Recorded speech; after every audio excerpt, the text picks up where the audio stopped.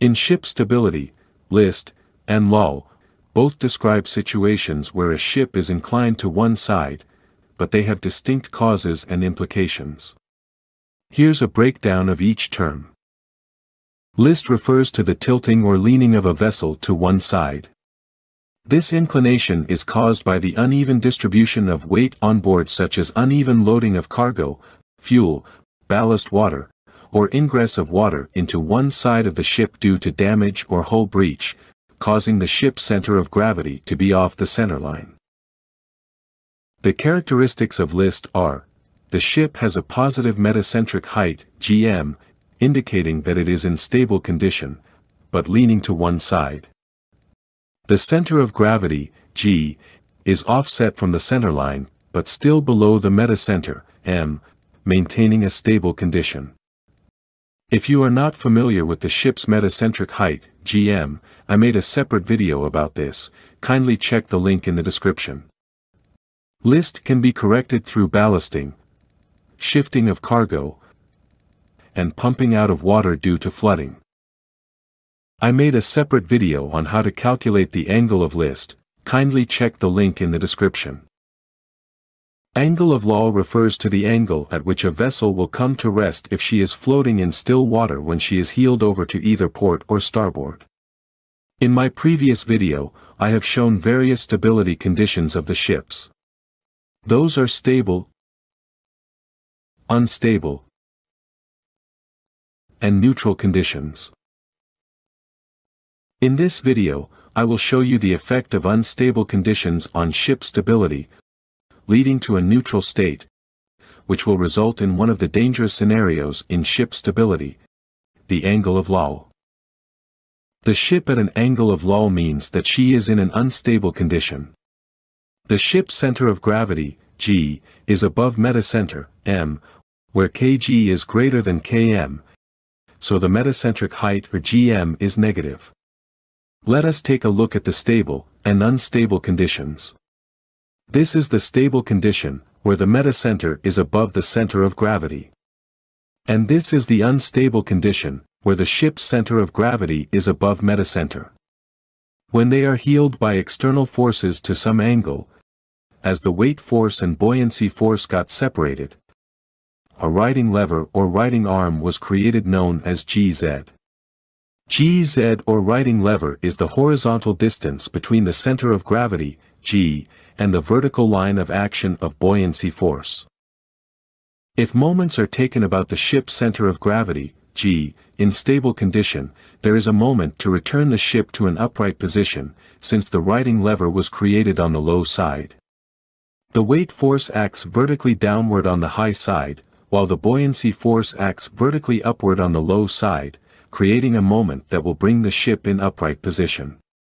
This moment is called a moment of statical stability, known as the righting moment. In unstable conditions, when the ship is heeled at some angle, a capsizing lever is created at the high side of the ship. The weight force acts vertically downward through the center of gravity at the low side, while the buoyancy force acts vertically upward at the high side through the center of buoyancy, creating a moment that will tend the ship to heel further. This moment is called a capsizing moment. But this moment will not capsize the ship, it will only tend to heel the ship further until the ship's center of buoyancy is directly above the ship's center of gravity. In this state, the ship now is in neutral condition. Assuming that the ship is floating in still water without any external forces, she will remain in this position since no righting lever or capsizing lever exists. The angle formed between the vertical line of force and the ship's centerline is called the angle of loll. If the ship is heeled further beyond the angle of loll by some external forces, the center of buoyancy moves further at the low side, creating a righting lever and righting moment, that will bring back the ship at an angle of loll. If no external forces exist, she will come to rest at an angle of loll, not in an upright condition. Let us compare these two conditions. List refers to the condition in which a vessel leans or tilts to one side, typically due to uneven distribution of weight or shifting cargo on board. Let's say, the ship is in stable condition, and we will add a weight to this side. The ship's center of gravity will move towards the center of gravity of the weight being loaded. The new center of gravity is at G1, in which it is off the center line. As a result, the ship is listing to where the new G is off the center line. While at angle off loll, the ship's center of gravity is along the center line, it is a result when the ship is in unstable condition. At an angle of loll, the ship may flop to either side, she will be heeled to starboard and will rest if there are no external forces exist. But if some external forces bring her to the other side, then she will heel to the other side and will remain in this condition if no external forces are applied. The ship will oscillate about the angle of loll, instead of her upright position. So the angle of loll may occur either on port or starboard, depending on the direction of the external forces. While in listing, the ship will only list to one side, towards the side where the ship's center of gravity is off the centerline. List is easy to correct compared to the angle of loll. In this case, we can add weight to the other side until the ship's center of gravity is along the centerline. Be sure that by doing these, you have calculated the ship's kg since adding weight above the ship's center of gravity, the ship's g will rise. But for the angle of loll, you cannot do this. Adding weight on the high side when the ship is at angle of loll will worsen the situation. Let's say, we add a weight here.